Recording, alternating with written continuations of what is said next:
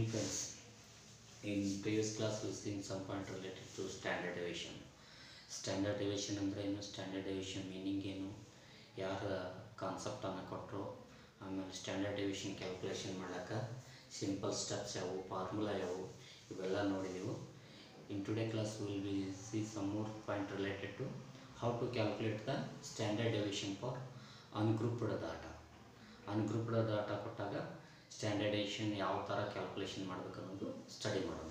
Here will be taken a example ಈ ಎಕ್ಸಾಂಪಲ್ದಾಗ series ಕೊಟ್ಟಾರ ಅನ್ಗ್ರೂಪ್ಡ್ ರಾ ಡಾಟಾ ಅನ್ನು ಕೊಟ್ಟಾರ series data sir what are those means fourteen twenty two nine fifteen twenty seventeen twelve eleven ಈ ಥರ ಒಂದು series ಕೊಟ್ಟಾರ.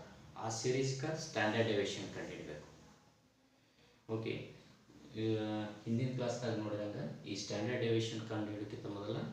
ನಮಗೆ ಸ್ಟ್ಯಾಂಡರ್ಡ್ ಡೆವಿಷನ್ ಅಂದರೆ ಏನು ಗೊತ್ತಿರಬೇಕು, ಮತ್ತು ಸ್ಟೆಪ್ಸ್ ಗೊತ್ತಿರಬೇಕು. Okay, start with the solution and we have to follow the some steps. ಯಾವ್ಯಾವ ಸ್ಟೆಪ್ ಅಂದರೆ, first of all we should be know about the mean. Mean ಕಂಡು ಹಿಡಿಬೇಕು. ಎರಡನೇದಾಗಿ, ಆ ಮೀನ್ ಉಪಯೋಗ ಮಾಡಿಕೊಂಡು ಸ್ಟ್ಯಾಂಡರ್ಡ್ ಡೆವಿಷನ್ ಅನ್ನು ಕಂಡು ಹಿಡಿಬೇಕು. X minus x bar with help of mean. Sorry deviation ಕಂಡುಹಿಡಿಯಬೇಕು ನಾಟ್ ಸ್ಟ್ಯಾಂಡರ್ಡ್ ಡೇವಿಯೇಷನ್ ಡೇವಿಯೇಷನ್ ಈ ಡೇವಿಯೇಷನ್ ಕಂಡುಹಿಡಿದ ಬಳಿಕ ನೆಕ್ಸ್ಟ್ ಏನು ಮಾಡ್ತೀವಿ, ಆ ಡೇವಿಯೇಷನನ್ನು ಸ್ಕ್ವೇರ್ ಮಾಡ್ಕೋತೀವಿ. We are to squaring the deviation and sum of this total ಮಾಡ್ಕೊಳ್ಳೋದು. ಡೇವಿಯೇಷನನ್ನು summation of D X square sum of our total of this ಮಾಡ್ಕೊಳ್ಳೋದು. Next divided by number of observation ಈ ಬಂದಂಥ ವ್ಯಾಲ್ಯೂವನ್ನು sum of D X ಸ್ಕ್ವೇರನ್ನು divided by number of observation ಎಂದಿಂದ divide ಮಾಡ್ಕೊತೀವಿ. And that answer we are going to kept under square root square root ಒಳಗೆ ಆ ಆನ್ಸರನ್ನು ಇಟ್ಬಿಡು summation of D X square divided by N and whole square that is our steps. Okay? And uh, first of all, we should be keep the series as usual x ವ್ಯಾಲ್ಯೂವನ್ನು ಇಟ್ಬಿಡು ಹದಿನಾಲ್ಕು, ಇಪ್ಪತ್ತೆರಡು, ಒಂಬತ್ತು, ಹದಿನೈದು, ಇಪ್ಪತ್ತು, ಹದಿನೇಳು, ಹನ್ನೆರಡು, ಹನ್ನೊಂದು.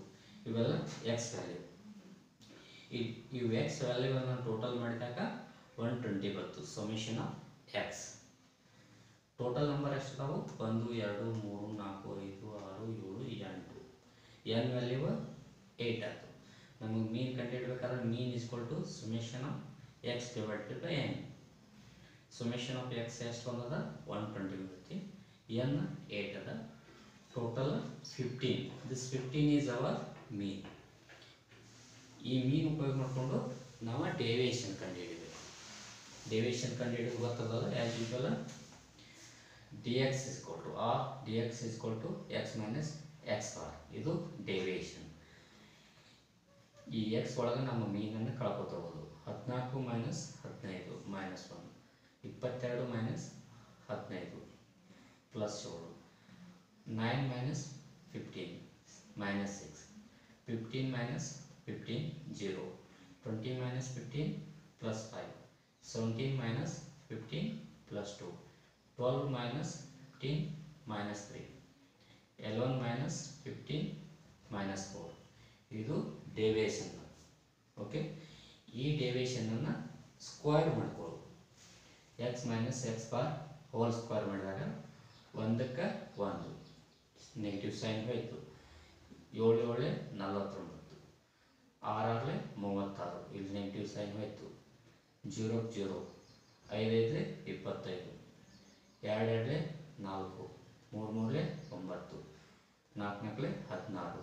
It is our deviation square ಈ ಡೇವಿಯೇಷನ್ ಸ್ಕೋರನ್ನು ಸಮ್ ಅಪ್ ಮಾಡ್ಕೊಳ್ಳೋದು. Sum of T X square is equal to ಇದನ್ನು ಟೋಟಲ್ ಮಾಡಿದಾಗ one forty birth okay then next our next our step is to calculate the standard deviation with help of this formula standard deviation is equal to whole square into summation of D X square divided by N whole ಸ್ಕ್ವೇರ್ದಾಗ summation of D X square divided by N formula whole square ಇಟ್ಟು summation of D X square one forty ಬಂದೈತಿ ಇಟ್ಟಿವು.